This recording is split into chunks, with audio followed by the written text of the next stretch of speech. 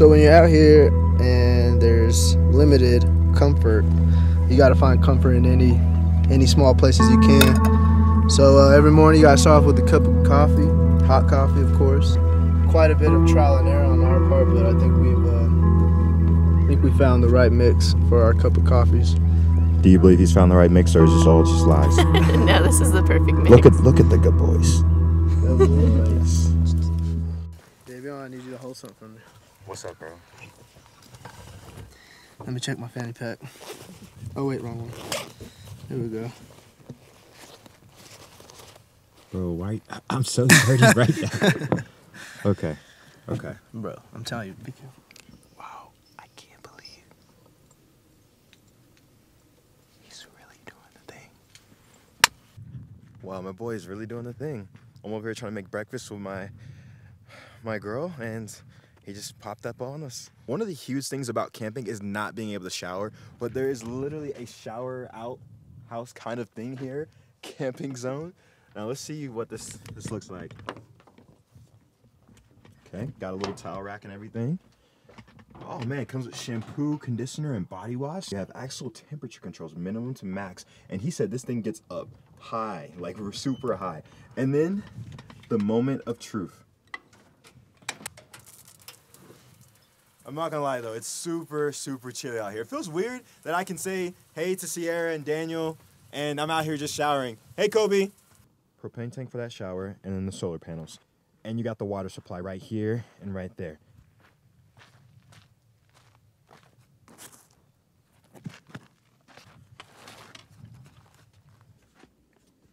Now I don't know why he has this. Maybe to keep animals out or to keep it from blowing over. Got some uh, some hand sanitizer right there, and some toilet paper. We ran out though, and we got some baby wipes. And the toilet. Let's see how good this is. Okay, you got the little feed stuff in there. Then toilet paper goes in there. Wipe your hands. We definitely need some of that.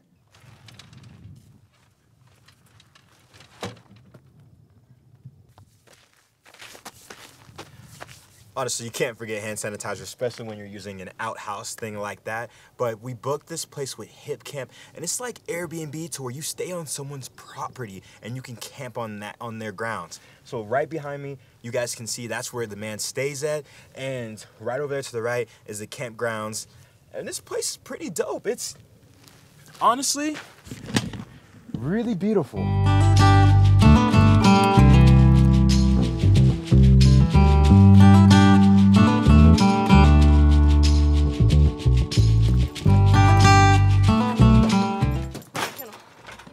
So we just realized that if you are a veteran or you're still serving in the United States military, you can get into all the national parks free. So we're loading up into one vehicle so we can save some money. So if you're a veteran, make sure you have your ID card. I never thought I would make it to the Grand Canyon and it just was not on my bucket list. I really wanted to go to Europe and Asia, but this is the place you need to visit if you're coming to the States.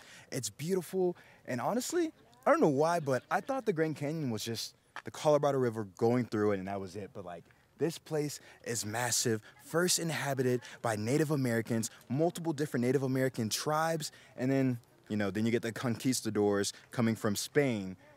But wow, I don't think you can really describe this to anyone until they come see this for themselves. And if you don't believe me, this is how crazy beautiful the Grand Canyon is squirrels, animals, nature. Breathe in that good fresh air for once. Okay, we stopped for just a second. Look how beautiful this place is. Wow, Arizona and the Navajo Nation, and there's just nothing but just road and emptiness. you gotta love it. What are you doing, Daniel? Goodness.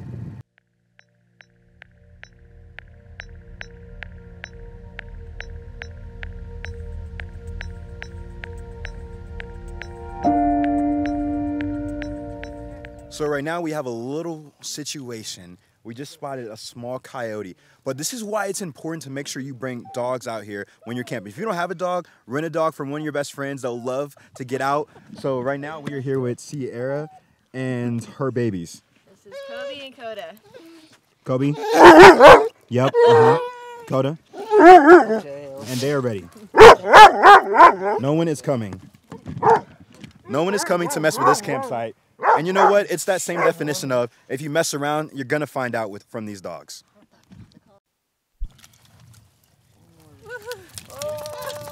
Thank you. Good boy. Oh, nice. This looks like a good shade is coming, so. Jesus, Daniel, is that a beer? Fuck yeah, let's do it. Like now who's gonna fight? Just kidding. let's do it. Let's go, guys. For all of y'all that might think that America is just Miami, Los Angeles, Las Vegas, we have Zion National Park. This is in Utah, and I did not know it was gonna be this beautiful. Like, just it's stunning. Okay, okay, okay. Y'all gotta admit, this, this view right here is beautiful, and this is why I just feel like you need to just let go and not plan that much.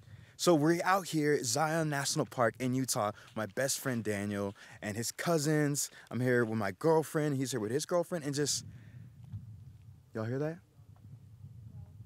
There's no one else out here. Well, at least not for like half a mile. Is anyone out there? No. See, no one. No one. We're here with Junior, Daniel, one of Daniel's cousins. What's up? What's up? Then we're here with Ed- Eddie. What are you doing? Eddie, man, we're gonna cut, make this spot a little bit better and gather some free firewood right here, man. I'm Look at you. this, baby, right here. Look at that. Who knew Californians could be like this out here in the wilderness? Look at this bad boy. Look at that bad boy.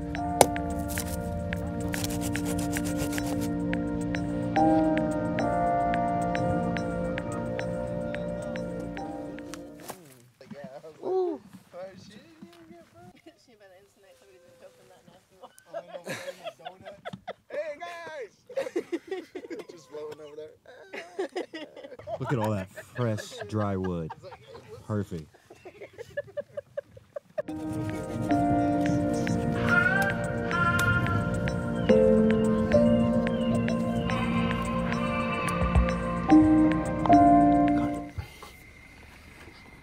right, that's how you start a fire. Hopefully. Well, I guess he got the fire going. Cheers. Cheers. Familia.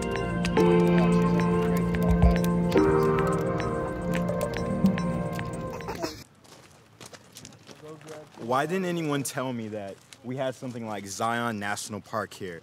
It's beautiful, looking out at the mountains, waking up and seeing a beautiful sunrise of the mountains. They do have a store here called Zion Outfitters where basically you can buy pants there, sandals. You can even rent hiking boots. I mean, I don't recommend renting hiking boots because, you know, they can be very smelly from other people's feet. But anyways, you can get food in there, canisters, so you can cook your food out there while you're on the trail. And I can't say this enough, but make sure you bring some bubbas. And if you don't have a bubba, rent a bubba out. And I don't have any, but they definitely brought some bubbas.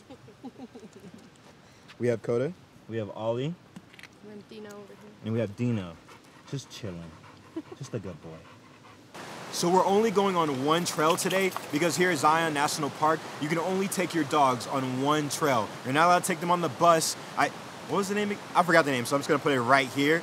But we just saw this this cool river. I think it's the the Virgin River, I think. And the dogs are cooling out in it right now. You scared for your son's life? A little bit. Man, they love the water. It's Dino, right? Dino. Oh, good boy.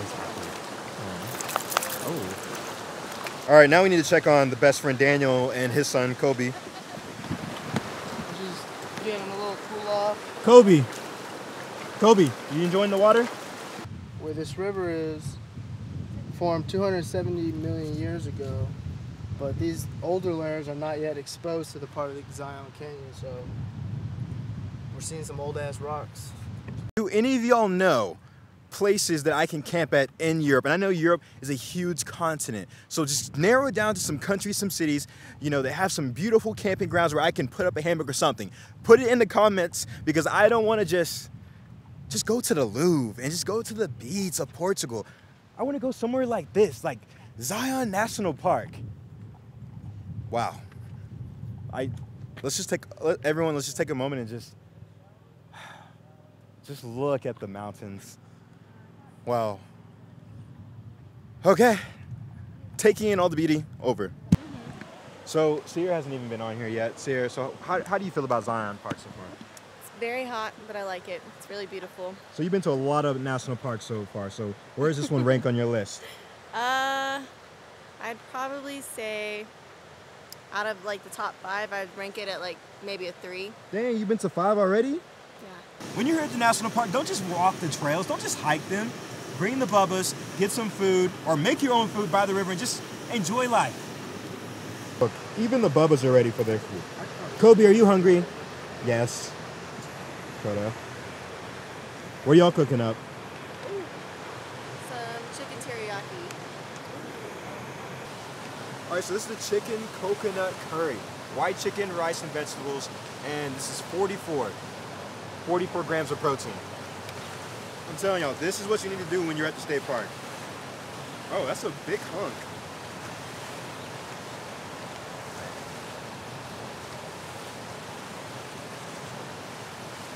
Oh, nine out of 10. Damn, Babe, you gotta try this. You don't like it? Not, like it? not mine. Not mine. it's not your stuff. All right, now we now we're curious on Sierra. Sierra's gonna like Good. it. I like it. Let's see. I'll trade you.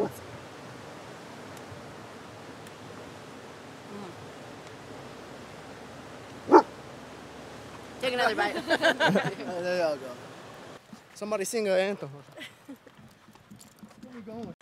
Dogs really are man and woman's best friends. Honestly, just look at Yes. that. Coda, you having a good time? All gassed out. Zion National Park, y'all have done a great job. At least the first trail we've done. So if you're coming to Zion National Park and you don't feel like using your, your legs or you want to get around faster, they actually do offer e-bikes. And uh, I'm here with My name's Jake. So Our e-bikes are eighty dollars for the day. Um, it's kind of a flat weight, flat rate rental, but they're pedal assist e-bikes. You can go up to about 25, 30 miles an hour with relative ease. Nine gears, four different modes. Nine Push. gears. Nine gears, yeah. They're perfect for what you need in the park. So, would Yeah. recommend it to anyone. how many trails can you take the bikes on? So you got two trails in the park. You got what's called the Pa'rus Trail and the, the Scenic Drive. The Pa'rus Trail is the actual bike path. It goes from the visitor center to the Scenic Drive. It's about a mile and a half long. And the Scenic Drive itself is about seven-ish miles, give or take, and that goes from Shuttle Stop 3 all the way up to Shuttle Stop 9, which is where the Narrows is. And relatively easy. Just got to be careful the shuttle buses going up and down. So All right, I, I appreciate it. And uh, I'm Davion, by the way. Jacob, pleasure to Nice meet meeting you. So, Have a good one. Hey, you too, man. It took us about 34 minutes to go from stop one all the way to stop nine with the free shuttle bus service. Okay, I'm sorry, y'all, but I have not given y'all a proper intro to this beautiful park, Zion National Park. So it goes back thousands of years ago and thousands and thousands of more. But the, this area was first inhabited 8,000 years ago by a group of Native Americans called the Puebloans. I probably slandered that. I, I'm so sorry if I did. These Native Americans were along this bank and everything, and after them, then you get the Europeans with their huge wave coming in here in the 1800s. The thing I really love about travel is just meeting new people, someone asking, you know, hey, can you take our photo? And then learning and hearing about their story. So I just met these two individuals. Pat, And Paula, So why did y'all come to the national park? we started up in Indian country, went through Yellowstone, went through Grand Tetons, and we're going to the other Utah national parks and ending in the Grand Canyon. I've been here before, she hadn't. I just love this place. And I'm colorblind, and I still love everything here. So, we've been all over the world traveling, but thought it would be a good night opportunity to see the United States. So I'm Davion Davion West. Davion, I'm Pat Pope. nice to meet you. Nice to meet you all. Y'all have a lovely day. All right, we'll look for you. This has to be the best river walk I have ever gone on. And even just, okay, yeah, I know, the water is definitely freezing. I do not suggest getting in this water at all. When you walk around this park, there's just beauty and nature everywhere. from the Red Cliffs to the Virgin River. I'm sorry, let me give y'all a little better lighting. From the Red Cliffs to the Virgin River, you truly just feel like you could be one with nature here.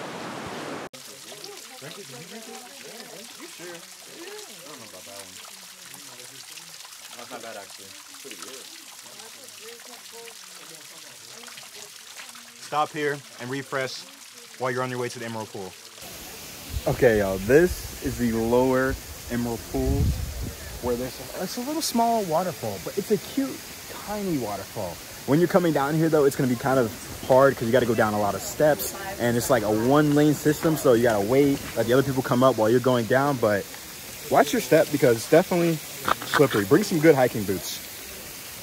So we're out here at Zion National Park at the family ranch, about to ride horses. And this is Bambi right here. It's my first time, y'all, riding a horse as a grown man. What's your horse's name, Sierra? Lily. That's a pretty name, Lily. Daniel, you look like a natural. my third time riding. Okay, not a bad ride, but I gotta say, being a cowboy must have been pretty hard. What do you think, Daniel?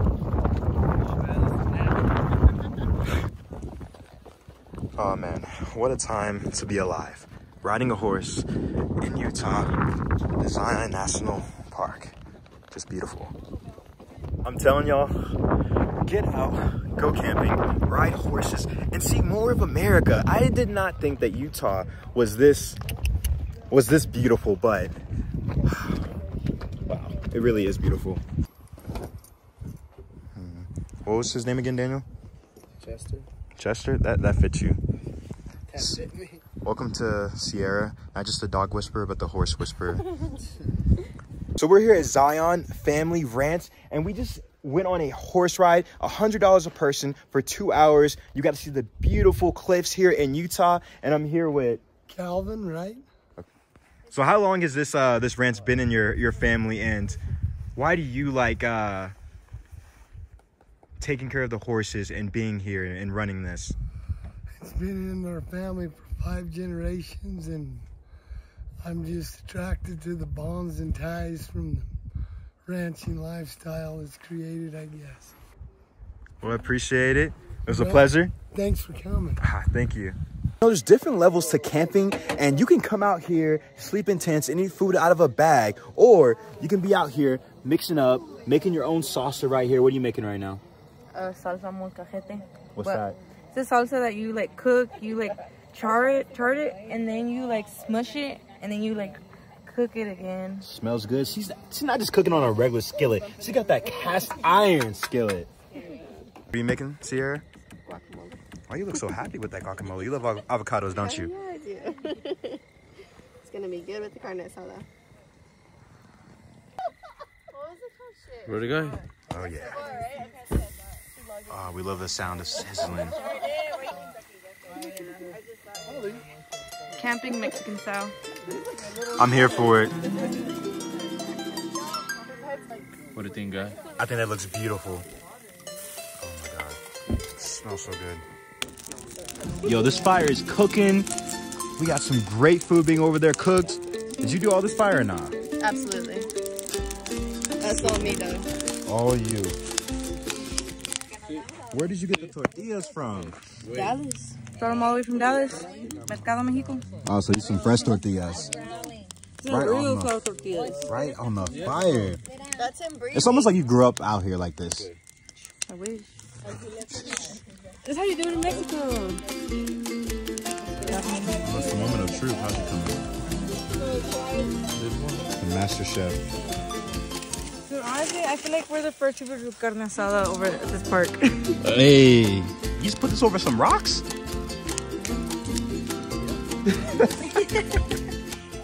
you know, this is what camping is about. Being around the campfire, being out here with familia, friends, fresh tortillas from Dallas, carne asado on the grill, like, and also, of course, a cold one. Go camping and get out of the city.